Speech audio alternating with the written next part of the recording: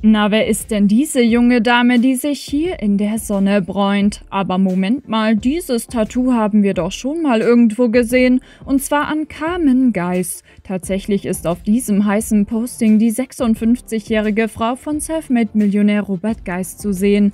Schaut man sich Carmen vor 30 Jahren und heute im Bikini an, scheint die Blondine kaum gealtert zu sein. In einem knappen grünen Zweiteiler rickelt sich die Mama von zwei Kindern auf einer Liege und zeigt dabei stolz ihr Tattoo.